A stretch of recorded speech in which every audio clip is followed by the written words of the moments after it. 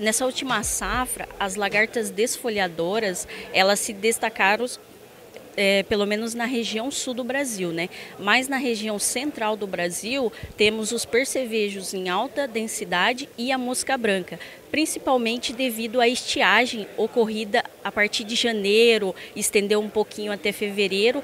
Então a, a, houve um aumento a, da população de mosca branca, que é uma praga de difícil controle devido ao comportamento dessa praga, devido às dificuldades de momento de aplicação dessa, desse inseto que o agricultor deve estar atento já o início da infestação da praga na lavoura, já entrando com o momento de aplicação do controle químico, né, para assim reduzir a população, né? Nós temos que conviver com essa praga, então o, o controle químico ele é só para reduzir a densidade, mas eliminar da lavoura fica muito difícil, né? Você vai ter que é, reduzir, retardar os danos lá na produtividade, na produtividade, no rendimento, né?